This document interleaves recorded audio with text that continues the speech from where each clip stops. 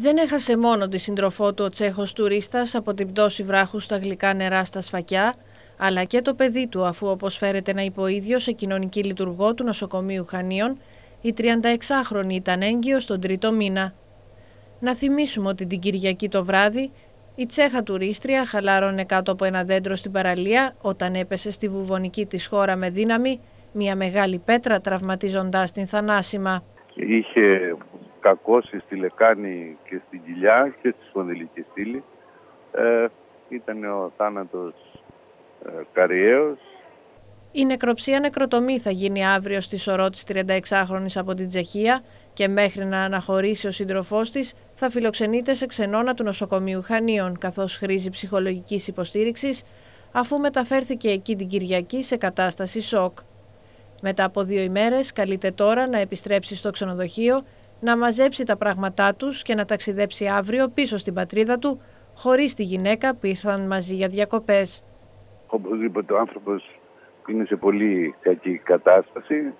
Ε, είναι φιλοξενείται στους, ε, στους ξενώνες που έχουμε ε, και περιμένει να πάρει τη σωρό της γυναίκας του αύριο. Εν τω μεταξύ, το πρωί επισκέφτηκε την παραλία των γλυκών νερών, κλιμάκιο της περιφέρειας Κρήτης, γεωλογικών και μεταλλευτικών ερευνών, για να συντάξει μια έκθεση για την ασφάλεια των λοουμένων στην παραλία.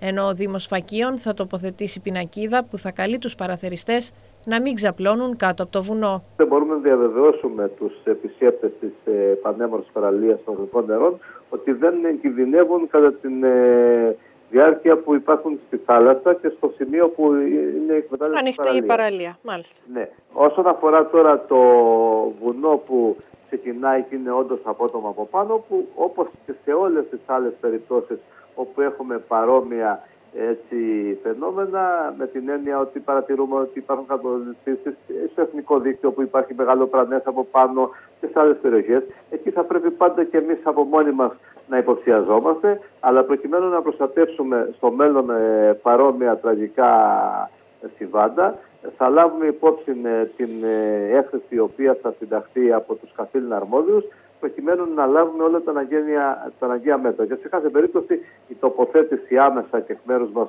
μιας προειδοποιητικής ε, ε, πινακίδος είναι επιβεβλημένη.